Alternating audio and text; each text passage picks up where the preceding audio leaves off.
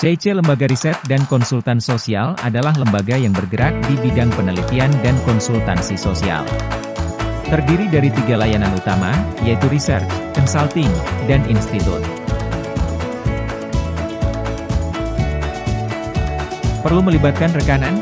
Kami siap membantu institusi Anda dalam menentukan keputusan besar, kebijakan, program, dengan berbasis data dan penelitian. Bahasan selanjutnya, uh, Victor ini sendiri teman-teman, karena tadi di awal kita membahas tindakan ekonomi merupakan goalsnya ya dari bahasan sosiologi ekonomi ini dari ketiga teori yang sebelumnya dibahas pun bahwa institusi menurut Victor itu berinteraksi ataupun berhubungan dengan e, jaringan sosial dan norma sosial. Nah, norma sosial sudah dibahas di awal ya. Aturan-aturan dan sebagainya. E, jadi Victor ini melihat bahwa fokusnya adalah institusi e, meminjam feel arena e, institusi ya dari dari Bourdieu bagaimana Victor ini melihat institusi itu berinteraksi dengan e, jaringan sosial dan juga norma sosial. Nah, di situ disebutkan bahwa ada istilahnya apa ya? Institusional baru Nah, justru kan kalau disebutkan institusional baru seperti teman-teman kelompok bahas, ada institusional lama. Nah, uh, institusional lama ini saya dulu ketika kuliah mempelajari Thorsten Veblen ya dari The Laser the apa ya judulnya malah lupa. Uh, the Class of Laser Time. Nah, saya menulis uh, skripsi dulu menggunakan Thorsten Veblen. Dalam konteks ini yang disebut institusional lama yaitu seperti tokohnya Veblen yang mereka itu mengkritik uh, neo uh, ekonomi ya neoklasik ekonomi neoklasik dikritik secara pedas pendahulunya Veblen berarti yang dikritiknya sedangkan seperti Victor nih uh, yang mengarahkan kepada ekonomi modern ini justru malah mengadopsi ya pemikirannya. Veblen juga selain tentu yang tadi itu uh, siapa? Uh, karena kolega ya. Bordeaux sama Granovetter ini kolega. Swedberg juga pernah menulis bareng dengan Victor nih.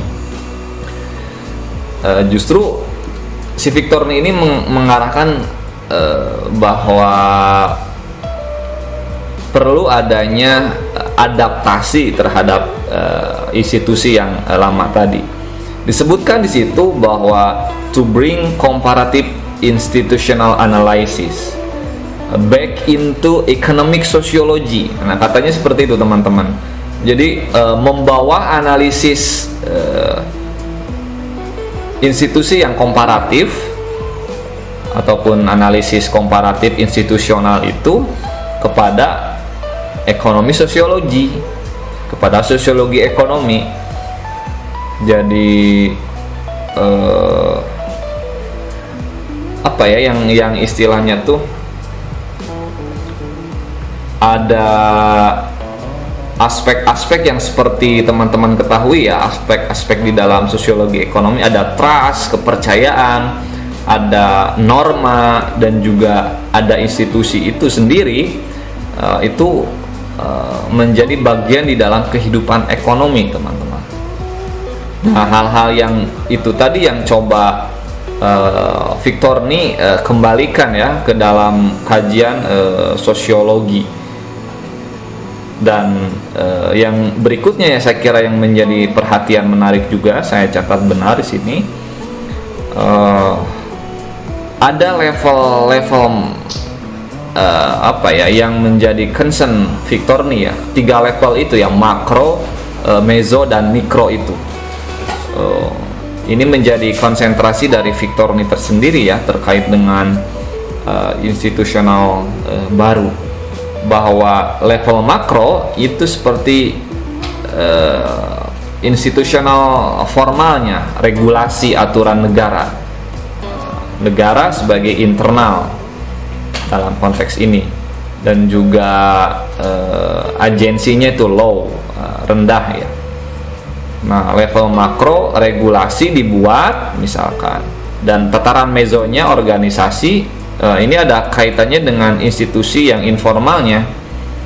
Uh, formalnya tadi di level makro regulasi negara, peraturan negara, mezonya uh, berkait juga dengan uh, aspek informalnya seperti adat istiadat, tadi itu aturan formal, sekarang seperti non formalnya kepercayaan-kepercayaan dan sebagainya. Dan di level di bagian uh, mikronya uh, di situ ada uh, proses individu dan sebagainya